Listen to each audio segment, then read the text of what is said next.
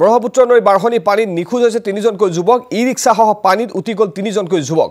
ৰাইজৰ তৎপৰতাত এজনক জীৱন্তে উদ্ধাৰ কৰা হৈছে অৱশ্যে এতিয়াও সন্ধান পোৱা হোৱা নাই দুজনৰ। ৰাজাবাৰীৰ পৰা পানীখাইটি ৰেলগেটলৈ গৈ থাকোঁতে এই ঘটনা সংঘটিত হৈছে। গুৱাহাটী মহানগৰীৰ পানীখাইটিত এই ঘটনা সংঘটিত হৈছে ই ৰিক্সাত উটি গৈছে তিনিজন যুৱক। অৱশ্যে এজনক ৰাইজে তৎপৰতা গ্ৰহণ কৰি উদ্ধাৰ কৰিছে বাকী দুজনৰ কোনো সন্ধান নাই এতিয়াও। ই ৰিক্সাসহ বাঢ়নি পানীত উটি গৈছে দুজন যুৱক। এজনক উদ্ধাৰ কৰিছে যদিও দুজনৰ কোনো সন্ধান নাই। ব্ৰহ্মপুত্ৰ নৈ বাঢ়নি পানীত নিখোজ হয় যুৱককেইজন। ই ৰিক্সাসহ পানীত উটি যায়। তিনিজনকৈ যুৱক ৰাইজৰ তৎপৰতাত এজনক জীৱন্তে উদ্ধাৰ কৰা হয়। কিন্তু এতিয়াও কোনো সন্ধান নাই আন দুজন যুৱকৰ। ৰাজাবাৰীৰ পৰা পানী খাইটি ৰেল গেটলৈ গৈ থাকোঁতে এই অঘটন সংঘটিত হয়। ব্ৰহ্মপুত্ৰৰ বাঢ়নি পানীত ই ৰিক্সাসহ উটি যায় দুজন যুৱক। ই ৰিক্সাখনত তিনিজন যুৱক আছিল।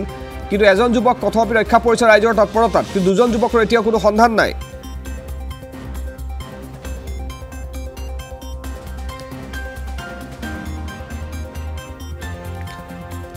আমি এক্সক্লুচিভ ভিজুৱেল দেখুৱাই আছোঁ। নিশা সংঘটিত হৈছে ভয়ংকৰ ঘটনা।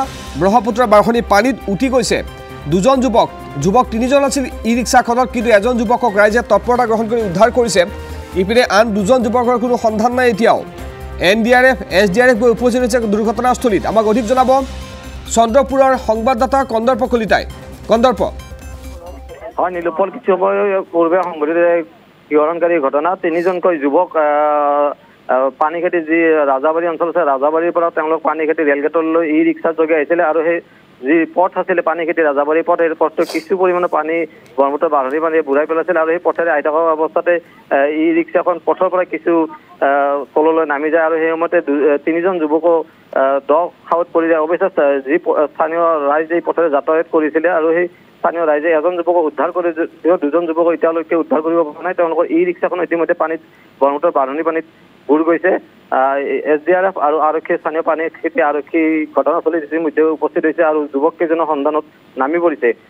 আৰক্ষী সূত্ৰে জানিব পৰা মতে যি যুৱক দুজন নিখোজ হৈ আছে সাতগাঁও অঞ্চলৰ বুলি জানিব পৰা গৈছে তেওঁলোকে ই ৰিক্সাৰ ই ৰিক্সা মেৰামতিৰ বাবে তেওঁলোকে বন্দা চপাইদাং অঞ্চলত আহিছিলে। আৰু এই যি পানী খেতি ৰাজাবাৰী পথ এই পথেৰে তেওঁলোকে ওলাই যাব বিচাৰিছিলে সাতগাঁৱলৈ। কিন্তু তেনে সময়তে এই ঘটনাটো সংঘটিত হয়। নীলোৎপল ঘটনাস্থলীত যিহেতু এছ ডি আৰ এফ আৰু এন ডি আৰ এফৰ দল গৈ উপস্থিত হৈছে তেওঁলোকে কি ব্যৱস্থা গ্ৰহণ কৰিছে কি পদক্ষেপ লৈছে বাকী যি দুজন যুৱক সন্ধানী হৈ আছে তেওঁলোকক উদ্ধাৰৰ বাবে হয় নীলোপাল যিহেতু কিছু সময় কিছু পূৰ্বে এই ঘটনা সংঘটিত হৈছে গতিকে এই মুহূৰ্তত এছ ডি এফ আৰু আৰক্ষী লোক ঘটনাস্থলী উপস্থিত হৈছে আৰু আমি এক্সক্লুজিভ ভিজুৱেল দৰ্শকলৈকে প্ৰেৰণ কৰিছোঁ। এই ইয়াৰ পিছতে তেওঁলোকে অভিযানত নামিব। ইতিমধ্যে যি মেটেকা আছে মেটেকা তেওঁলোকে মেটেকাৰ পৰা আঁতৰাই চোৱা চিতা ব্যৱস্থা কৰি আছে। হয়তো কিছু সময় পিছত তেওঁলোকে এই বাঢ়নি পানীত নামি অভিযান চলাব। নীলোৎপল। পৰিয়ালৰ লোক উপস্থিত হৈছে যুৱক দুজনৰ। হয় নীলোপৰ পৰিয়ালৰ লগ এতিয়ালৈকে তেওঁলোক অৱগত হোৱা নাই নিশ্চয় যিহেতু ঘটনাটো সংঘটিত প্ৰায় পোন্ধৰ মিনিটমান পূৰ্বে ঘটনাটো সংঘটিত হৈছে। গতিকে এতিয়ালৈকে পৰিয়ালৰ কোনো লোক ঘটনাস্থলীত আহি পোৱা নাই বা তেওঁলোক অৱগত নহয় আৰু আৰক্ষীয়ে যুৱক কেইজনৰ পৰিচয় এতিয়ালৈকে উদ্ধাৰ কৰা নাই যদিও সাতগাঁও বুলি জানিব পাৰিছে যি এজন যুৱক উদ্ধাৰ হৈছে তেওঁ সাতগাঁও বুলি কৈছে যদিও আটাইকেইজন নাম এতিয়ালৈকে উল্লেখ কৰিব পৰা নাই। আৰু এই গোটেইখিনি যুৱকৰ নাম উদ্ধাৰ নাম বা পৰিচয় পোৱাৰ পিছতে হয়তো পৰিয়ালৰ লগ এই স্থানত উপস্থিত হ'ব। যিজন যুৱকক উদ্ধাৰ কৰিছে তেওঁৰ স্বাস্থ্যৰ অৱস্থা বৰ্তমান কেনেকুৱা? তেওঁ স্বাস্থ্য অৱস্থা আমি এতিয়া এতিয়ালৈকে যি আমি যিহেতু ঘটনাস্থলী আহি পোৱা পূৰ্বে আৰক্ষীয়ে যুৱকজনক উদ্ধাৰ কৰি হয়তো থানালৈ বা চিকিৎসালয় প্ৰেৰণ কৰিছে সমগ্ৰ হেৰিখিনি আমি এতিয়ালৈকে জানিব পৰা হোৱা নাই। যিহেতু ঘটনা সংঘটিত কৰাৰ পিছতে আৰক্ষীয়ে এই যুৱকজনৰ ৰাইজৰ মাজৰ পৰা ইয়াৰ পৰা লৈ গৈছে আৰু হয়তো নিশ্চয় তেওঁৰ স্বাস্থ্য পৰীক্ষা কৰিব লাগিব বা স্বাস্থ্য পৰীক্ষাৰ বাবে হয়তো প্ৰেৰণ কৰিছে। হয় ধন্যবাদ জ্ঞাপন কৰিছোঁ আপোনাৰ কন্দৰ্প কলিতা সবিশেষ তথ্যখিনি জনোৱাৰ বাবে। এই ভয়ংকৰ ঘটনা সংঘটিত হৈছে এতিয়াৰে পৰা প্ৰায় বিছ মিনিট পূৰ্বে।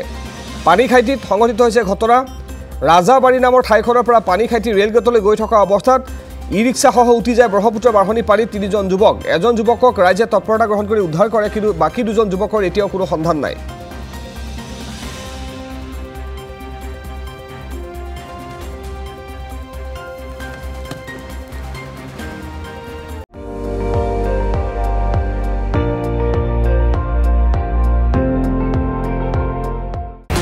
আপুনি চাই আছে এন ডি টুৱেণ্টি ফ'ৰ। সৰ্বশ্ৰেষ্ঠ নহয় সৰ্বোত্তমৰ দৌৰ